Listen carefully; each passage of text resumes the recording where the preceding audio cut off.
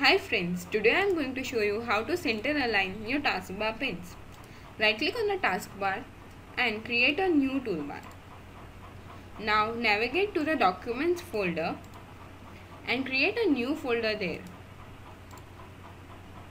Now this folder should have no name. So press Alt 0160 and press enter or select that folder. Now you'll have to unlock the taskbar. Now you'd see a toolbar has come there.